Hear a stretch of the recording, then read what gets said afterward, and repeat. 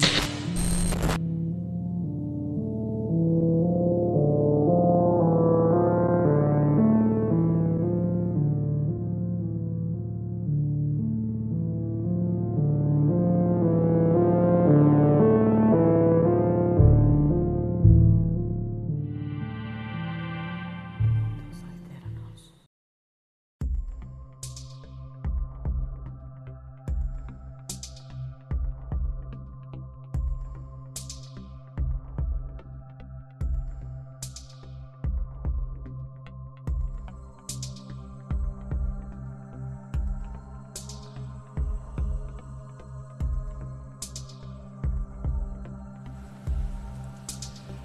Queremos aclarar que lo que se expondrá hoy a continuación está muy lejos de tener connotaciones religiosas.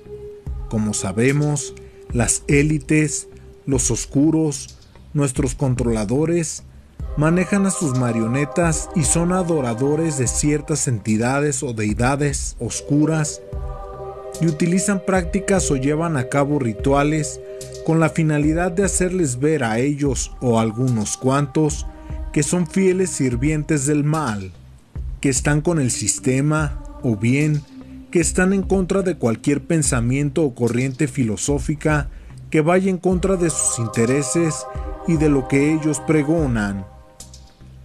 Para muchos, la información que verás a continuación pasó desapercibida. Solo unos cuantos lograron entender el mensaje oculto de lo que sucedió la noche de la entrega de los Óscares en el gremio de Hollywood. La información te la comparto porque me parece un análisis muy atinado de lo que ahí sucedió. Antes de iniciar, recuerda que mente abierta. Aquí no hay casualidades, no es solo imaginación. Recuerda que ellos manejan el simbolismo y el ocultismo para manifestarse y que sepan los que operan tras el telón quiénes son sus lacayos y a quiénes sirven. Queda claro que en la edición número 94 de los premios Oscars se llevó a cabo una especie de ritual para hacerle notar a las élites oscuras quién manda y quién sirve a estos fines. En esta ocasión, los protagonistas de transmitir el mensaje oculto fueron Will Smith, su esposa Jada Smith y el actor y comediante Chris Rock. Lo que nosotros vimos en pantalla fue a un Will Smith muy molesto golpear a Chris Rock tras una broma realizada a su esposa Jada. Una reacción quizás muy desproporcionada para la clase de broma que fue, ya que solo se burló de su cabello. Pues bien, los tres involucrados jugaron un papel importante para los oscuros, que era transmitir un mensaje negativo a todo aquel que tiene o tuvo la capacidad de saber qué fue lo que ocurrió ese día. Enfoquémonos en un principio en el significado de los nombres de los implicados y con esto quedará más claro que aquello no fue un evento aislado. Comenzamos por Chris Rock, que su nombre es diminutivo de Christopher, que a su vez deriva de la palabra griega Christos o Mesías, que significa ungido. Su apellido es Rock, que significa roca. Presta atención a este versículo. Cristo es la piedra viva, rechazada por los seres humanos, pero escogida y preciosa ante Dios. Al acercarse a Él, también ustedes son como piedras vivas, con las cuales se está edificando una casa espiritual. Veamos ahora el significado de Will Smith. De origen inglés, Will significa el protector y Smith significa herrero. Pues bien, en múltiples textos literarios se aluden diversas formas a la roca golpeada.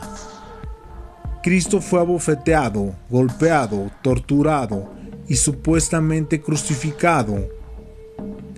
¿Recuerdas el pasaje donde Dios le pide a Moisés golpear una roca para que brotara agua? Obviamente todo esto es metafórico y significaría que el mediador debe recibir los golpes de la ley antes de poder ser la fuente de la salvación ante un mundo seco destinado a perecer. Entendemos, pues, que la idea o concepto de Cristo, la roca viva, es una clara alusión o representación de lo bueno, lo positivo. Y aquí es cuando lo podemos ver más claro. Chris Rock representa a los despiertos, a ese lado positivo, a los que buscan cambiar las cosas para bien. Y Will Smith es el protector de lo negativo, de las élites, de los oscuros, que golpean con hierro a quien lleva a Cristo la roca viva adentro.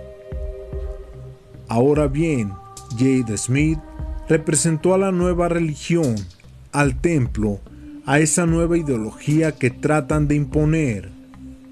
¿No lo crees? Veamos.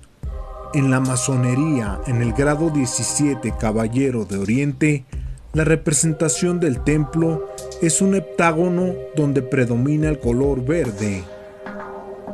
Y el significado de Yeida es derivado de jade y significa piedra preciosa verde. ¿Sigues creyendo que es solo imaginación o paranoia?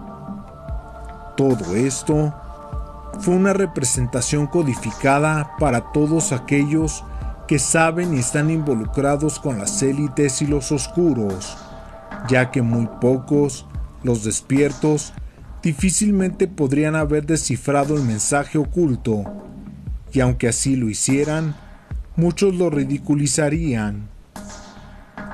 Todo esto se trata de la eterna batalla entre el bien y el mal, donde en esta ocasión, ante tal teatralización, se impuso el mal abofeteando al bien, a los despiertos, mostrándonos que no van a ceder ante el inminente despertar de la humanidad.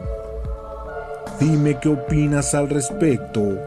En mundos alternos, cada vez somos más y queremos agradecerte tu preferencia. El material queda a tu consideración.